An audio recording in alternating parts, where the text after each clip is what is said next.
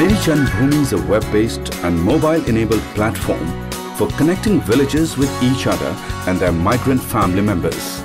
The platform enables discussion of problems and solutions in a community forum. At present, the project covers 4,000 households in five villages of Rajasthan, impacting more than 10,000 people directly or indirectly.